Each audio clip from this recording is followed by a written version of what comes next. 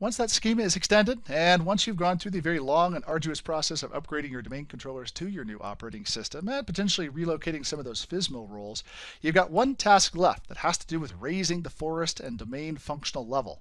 And this is where things get fun. As I said, uh, raising the uh, functional levels is where you actually begin to see the benefits of all the work that you've put into this project. Now, these forest and domain functional levels are done uh, just as before once per forest, and then once in each domain. And they happen down here in Active Directory domains and trusts. If I take a look at AD domains and trusts, you'll find that there are two locations where I can actually do things. And uh, it's two locations in this case because I only have one domain. The first is to actually raise the forest functional level, which happens here at the root. Now we're already here at Server 2012 R2, so there's not going to be any dialog box for us to upgrade the forest functional level past this point until we go through another schema extension for whatever the version of Windows Server is after 2012 R2.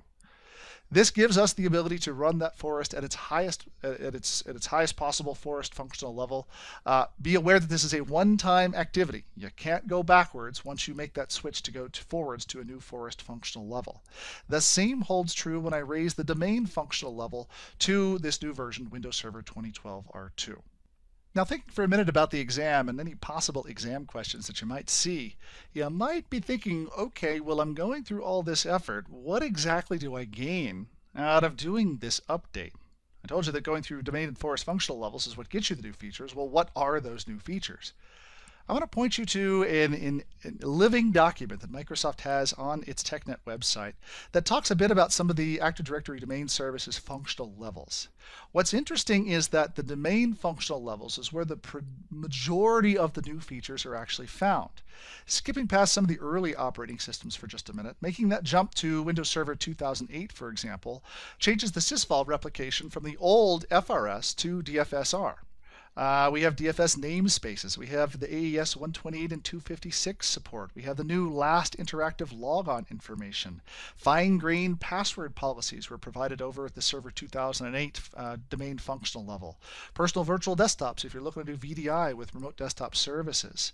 Authentication mechanism assurance, SPN management, uh, uh, Kerberos armoring is provided.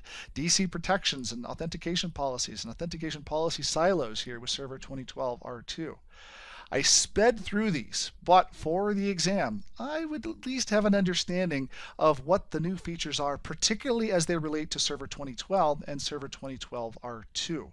So understand, you know, what Kerberos Armoring can do, what these new features here for 2012 R2 exist at the forest function, at the domain functional level.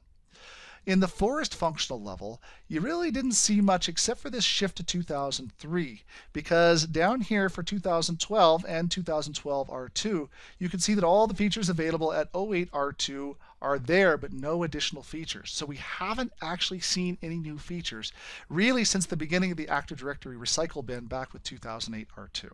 So again, plenty of new features that exist for the domain functional level. It's upgraded the forest functional level that you get this one big feature here with 08R2, but nothing else in 12 and 12R2.